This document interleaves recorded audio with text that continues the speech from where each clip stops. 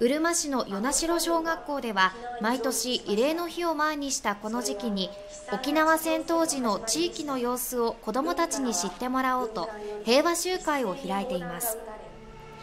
全校児童や子ども園の園児が参加した集会では津堅島での体験談をもとに作られた紙芝居が教職員によって朗読されました。日本軍の基地が作られた津堅島では島の人たちは爆撃で大きな被害を受けアメリカ軍の上陸後にはガマなどでの生活を余儀なくされましたが日系3世のアメリカ軍の通訳が日本語で投降を呼びかけ多くの島の人の命を救いました。沖縄本島だけのことだけを知ってたんだけど津堅島もこんな被害があったんだなって思いました。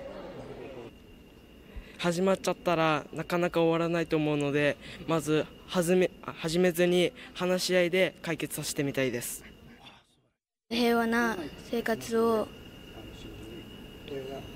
感謝しながら過ごしたいです